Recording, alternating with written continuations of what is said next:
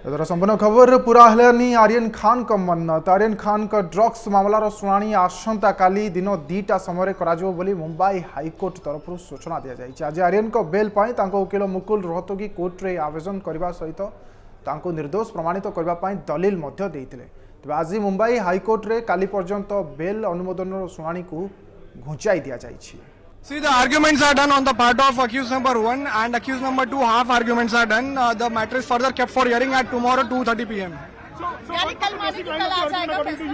कल बिल्कुल रखा गया है इसको। Basic line of argument is simple that there is no part of conspiracy because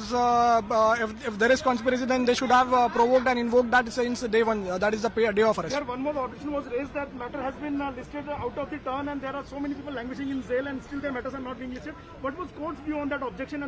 and no no no the court simply said like it was a verbal conversation and the court said that if you want I will hear you as well